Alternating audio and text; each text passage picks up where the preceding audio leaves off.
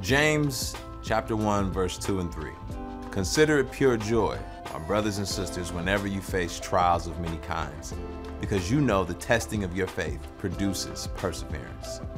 The scripture says, when, not if you face trials. So you have to remember that trials will happen.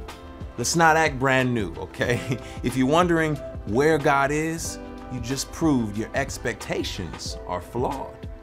God is there. There's various kinds of trials, right? It says when you experience all kinds, many kinds, not one or two. And there's different types, and sometimes they happen at the same time. But trials produce a steadfastness, a maturity.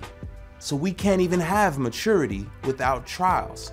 So if we whine and complain and we quit, guess what? We won't mature.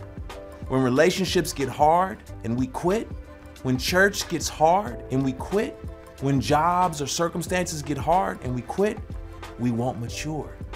See, we won't have steadfastness if we have no maturity. You can't grow muscles without the gym. If you want to be like Jesus, then trust me, you want trials. They're a test, and tests are hard, but encouraging, especially if you pass. See, if you fail, of course you hate it. But if you pass, there's a thrill that you get to enjoy.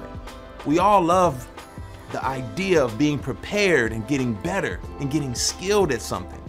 And sometimes that takes long, it takes longer for some than others. But as long as you stand firm, you'll pass.